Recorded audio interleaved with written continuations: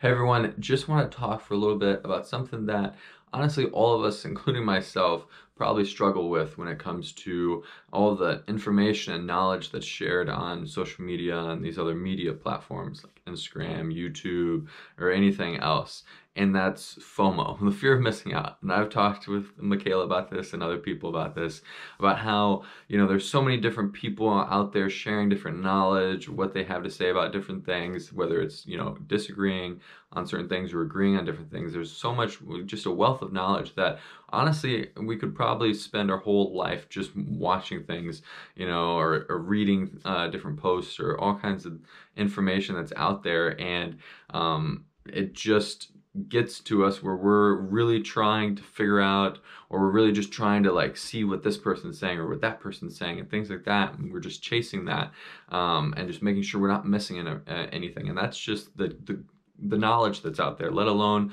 you know, say the, the cool stuff that's out there that, you know, the really stuff that isn't necessarily maybe um, something that you're learning anything from, but it's just something that maybe is drawing you in. Maybe it's what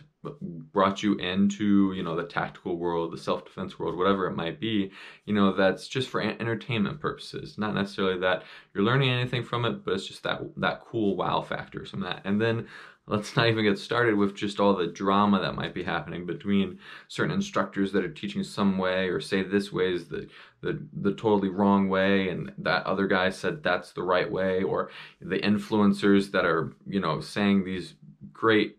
huge statements to try to really hype up uh, things. It's causing, of course, drama and attention for them and whatever, which I've talked to people about as well. Um, it's something that you're having to just wade through and try to figure out. And so at times, let alone just on what you're looking at social media platforms stuff like that it might take away from something else that you could see. But at the same time it's taken away from what you can be doing out in the real world. And we could say you know that could be actually training or something like that of course or we could say that's just taking you away from being out and being able to enjoy the outside being able to enjoy hiking or you know being able to enjoy doing tons of stuff with your family your friends or different things like that. And obviously i know the irony of of saying this on a social media platform but i just want to encourage you guys just like i try to encourage myself is to make sure I'm not just losing myself and just chasing all this different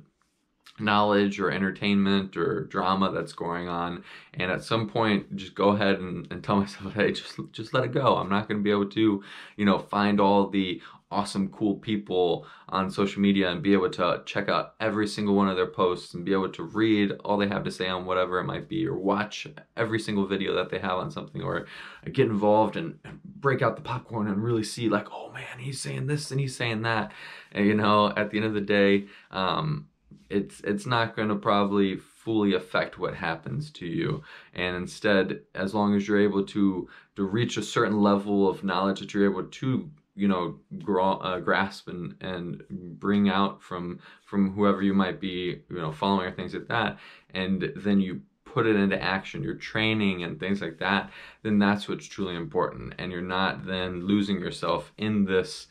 because of what you're trying to just make sure you're checking everyone's box and whatnot and instead you're not enjoying the free world guys. So don't let fomo in the end cause you to not be better in your reactive defense